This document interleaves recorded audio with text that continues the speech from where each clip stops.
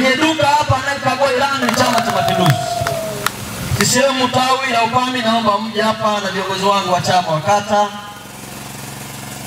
Upami weye.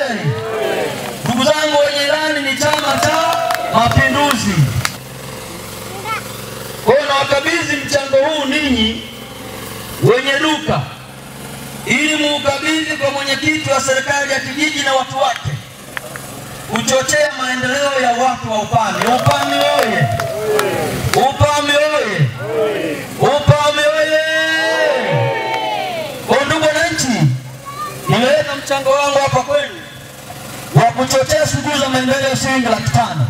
Natoa kesha na kupokea kero zenu mbalimbali. Nataka pia nishiriki na nyinyi kwenye maendeleo yenu kwa kuleta ule mchango wangu. Upame oye! Upame oye! Upame oye! Katibu wangu kwa. Mchango upo upo, unao hapa. Mfuate dereva. Upame oye! Upame oye! Mchango usiopatikana, katibu atakuwa kwenye msukosuko. Upame oye! Kwa ndugu zangu, mimi kama mbunge ninapochangia shughuli za maendeleo kwenu, pamoja na kazi kubwa inayofanya serikalini, nataka kuwatia moyo kwamba mwendelee kufanya kazi. Upame oye!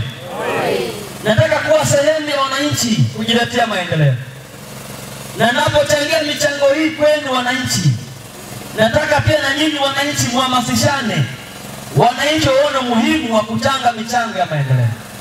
Ndugu zangu, serikali hii inahudumia nchi hii kubwa. Nchi hii ina halmashauri zaidi ya mia moja na themanini na nne. Haiwezi serikali kufanya kila kitu kwa wakati mmoja.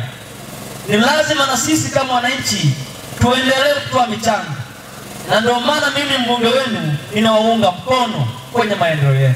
Upame oye! Upame oye!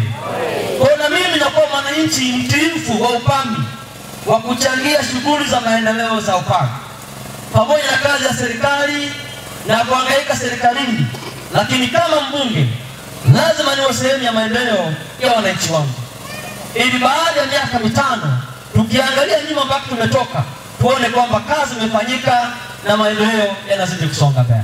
Upame oye! Upame oye!